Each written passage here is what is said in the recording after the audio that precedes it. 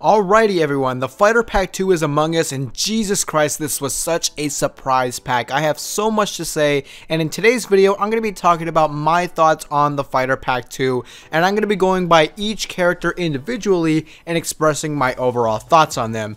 So starting with Black Manta, I was always on that thought that when he was first shown as a stage transition that it didn't deconfirm him. Like I always had that thought that he was going to be a DLC. I never lost hope that he wasn't going to make it. So when when we got the silhouette of him, I was super hyped because he was on my wish list for the game, not even for the main roster. I mean, not even for DLC. He was on my wish list for the main roster. And now that we finally have him confirmed, I can finally say that he is officially in this game, and I am like officially happy. I'm really glad with the design choice NetherRealm made with Black Manta. They didn't injustice him and give him some unnecessary things on his shoulders or anywhere else. Like they didn't give him robot garbage. No, this is straight up ripped from the comics Black Manta, and that gives me high hopes for the cosmetic of his gear because if they already started out with a comic book accurate look, then we are probably going to get gear that is something Black Manta would definitely wear and stuff that's like comic book accurate gear.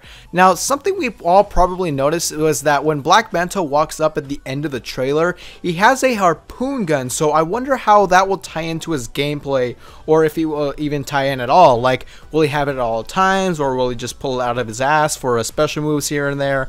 I'm really thinking he'll probably carry it around like throughout the whole match. Like it'll be on him, he'll be carrying it all the time, and that'll be his main source of his special moves, which means that it is confirmed we'll get a version of Trident Rush for him called the Harpoon Rush. Get hyped for that, guys. But no, but seriously, I'm really hyped for Black Manta. I'm so glad that I got what I wanted, and I do plan to play him a lot. Maybe not main him, but he will definitely be in my top three or top five. The other most anticipated DLC character for me was Raiden, and yes, I actually am really happy with Raiden, and I understand some of you guys probably aren't happy about it, and that's completely fine, you're entitled to your own opinion, I really can care less if you like him or not.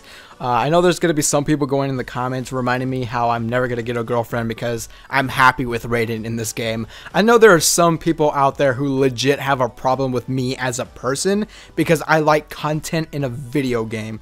Trust me, I get it all the time and I'm really not surprised because we live in 2017. But anyways, back to Raiden.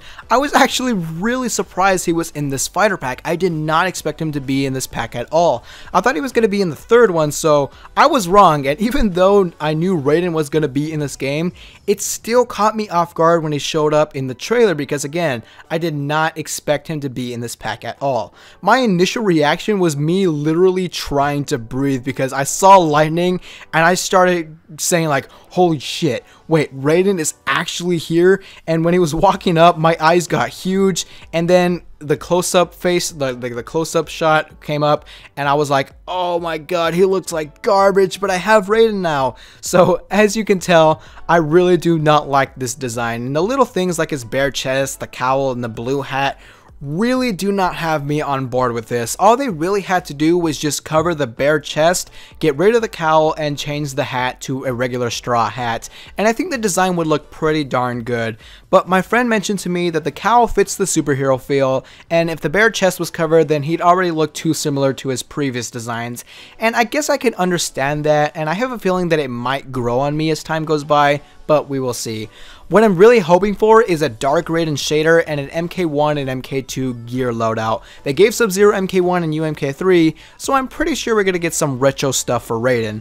One of the things that I'm looking forward to, or one of the other things that I'm looking forward to, is his intro dialogues with the DC characters. I love Sub-Zero's intros where there was Easter eggs to Mortal Kombat vs. DC, and I'm glad we're probably going to be getting more of that because I actually really like that game. I'm interested to see what he has to say to Darkseid and Brainiac, the battle of the gods, or Brainiac's not a god, but you, you, you get what I mean. The last thing I wanted to talk about was his gameplay, which is likely going to be visually looking like he's straight from Mortal Kombat X, but the style and feel and the way he, to play him in this game will be absolutely different from Mortal Kombat X. For some reason, people say that Sub-Zero is just a copy and paste from Mortal Kombat X. I just question did you even play Sub-Zero and MKX and Injustice 2? It's not exactly the same. I mean, visually, yeah, but like the way to play them, it's not exactly the same. It's similar, but it's not exactly the same. I just wonder which variations for Mortal Kombat X will NetherRealm cater more towards for the inspiration for his gameplay in this game. Will it be a mixture of Master of Storms and Thunder God? Will it be Displacer and Thunder God, Displacer and Master of Storms, or just one? That's a big question I have. I'm sure he'll be a rushdown character like like he always was and how he has been, but we'll just have to wait and see. Finally, we have that biggest wow character Ed was talking about, and did this surprise me? And did this wow me? And I'm gonna say, no, it didn't. I mean, I fully expect. No, I'm just kidding. Heck yes, it did. I did not see this coming at all. My initial predictions for who I thought this character was was either Dr. Manhattan, Rorschach, Beast Boy, or Neo. But Hellboy, nah, man, I did not think he would be in this game. So, am I happy about this? I mean, I guess because I really don't have an opinion on DLC because I really don't care who gets added in at this point. I'm fine with whatever, but I honestly feel like Hellboy was a very, very interesting choice out of the characters in this pack. I think he'll be the most interesting for his gameplay. I fully expect him to be a brawler type character, very combo heavy, and that's just his gimmick. He's just going to be punching you like forever, like punching you for days. That's all it is, it's just combos. I will say that this is probably a guest character done extremely well in this game because you've got a comic book character in a comic book game, so it fits in the shoe. I kind of am disappointed that the voice actor isn't Ron Perlman, who was the actor who portrayed him in the movies. It just sounds like Darkseid's voice actor, which, hooray for Darkseid Hellboy, but another complaint that I have is that although Hellboy is fitting for this game, he visually looks so out of place. He literally looks like he came straight out of the Star Wars The Clone Wars TV show. Way too cartoonish for this game, like way too blocky. I mean, it's comic book accurate, don't get me wrong, but there's already an existing art style for this game, so I don't know why it just goes completely left field.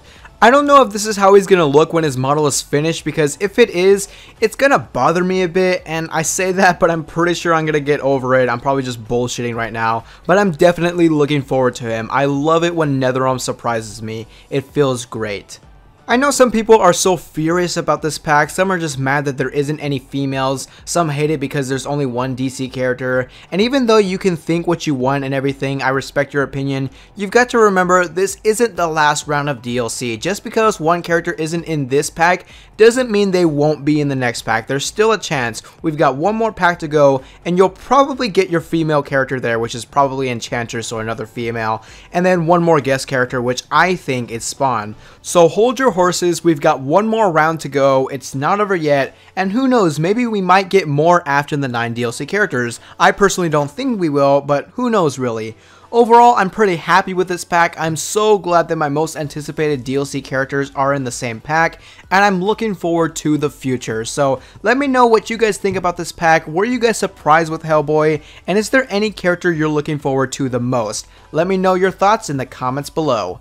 If you enjoyed this video, make sure to leave a like to support the channel. Let's see if we can do 100 likes, and don't forget to subscribe for weekly Injustice 2 content. Anyways, my name is BruskPoet Productions, and I'm out for now.